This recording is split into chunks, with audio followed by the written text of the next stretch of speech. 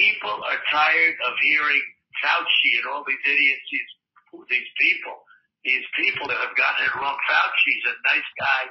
He's been here for 500 years. He called every one of them wrong. And he's like this wonderful guy, a wonderful sage telling us out.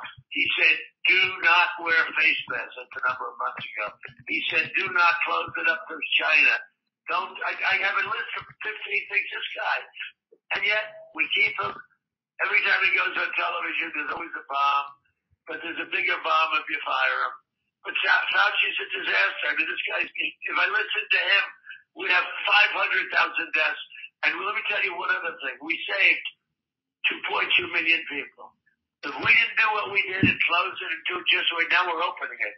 But we'd never close it again. It would never close. It'll never close again because we know the disease. But Fauci, if we listen to him, we'd have 700, 800,000 deaths right now. So with that, I get along with him. If there's a reporter on, you can have it just the way I said. I couldn't care less. And you know, Biden wants to lock it down. He wants to listen to Dr. Fauci. He wants to listen to Dr. Fauci. And don't forget, Dr. Fauci, what he said is, no, no, don't close it to China. I said, I'm sorry, doctor, you're a wonderful man. And he is a nice man. You're a wonderful man. I'm closing it. I saved thousands of lives. He admitted that two months later. Two months later. And Dr. Fauci said, don't put on masks. Don't put, you see the thing. And now he says, put on masks. And they say, you know, he's a wonderful guy. And he is a wonderful guy. I like him. He just happens to have a very bad arm.